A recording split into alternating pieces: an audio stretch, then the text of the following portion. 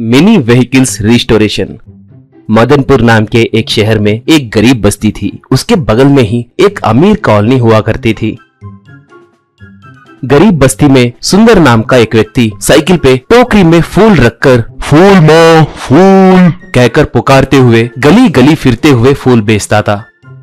उसके बेटे का नाम जय था। जय पास ही में एक सरकारी स्कूल में पढ़ता था। उसे मिनी व्हीकल्स बहुत पसंद थे।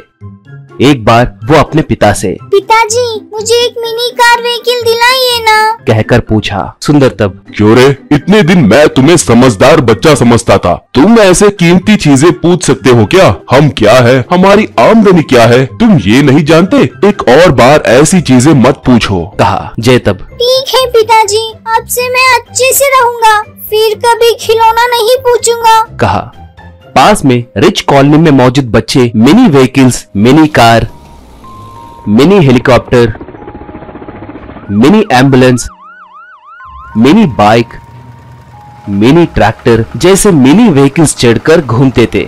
जय उन्हें दूर से बहुत दिलचस्पी से देखता था।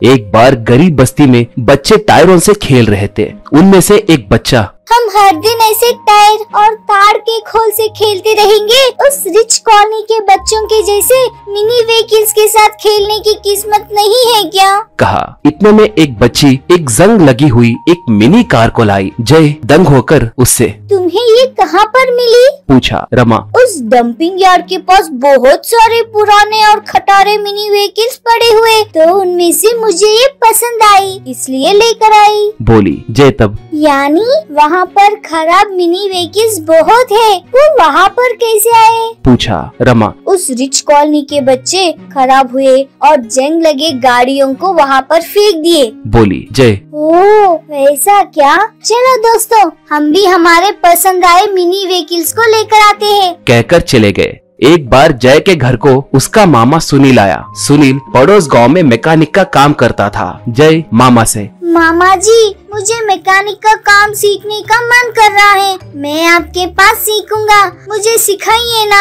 कहकर पूछा सुनील तब तुम्हें तो मैं चुटकी में सिखाऊँगा मगर तुम्हारे पढ़ाई का क्या? मैं तो तुम अच्छे से पढ़कर बड़े आदमी बनोगे कहकर सोचता हूँ कहा जय तब। मामा जी मैं पढ़ाई को लापरवाह नहीं करूँगा। आपके पास काम भी सीखूँगा। सिखाओ ना। कहा सुनील तब ठीक है इतना पूछ रहे हो। दीदी के बेटे जो हो ज़रूर सिखाऊँगा मगर कल ही मेरे साथ आना होगा, कहा। ऐसे जय सुनील के साथ जाकर थोड़े ही दिनों में मरम्मत करना रिस्टोर करना सब सीख गया। और घर लौट कर आया। जय रिच कॉलोनी के बच्चे जिन मिनी व्हीकल्स को खराब हुए हैं कहकर फेंक देते थे, उन्हें लाकर उनकी मरम्मत करके रिस्टोर करके इस्तेमाल में आए जैसे करने लगा। उनमें से थोड़े गाड़ियों को वो अपने पास रखकर थोड़े व्हीकल्स गली के बच्चों को देने लगा। उनमें mini car,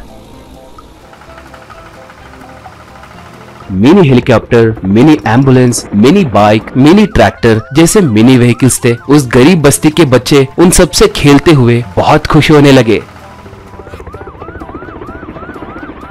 ऐसे जब भी रिच कॉलोनी के बच्चे इस्तेमाल किए हुए, खराब हुए मिनी व्हीकल्स को फेंक देते थे, जय उन्हें लाकर मरम्मत करता था।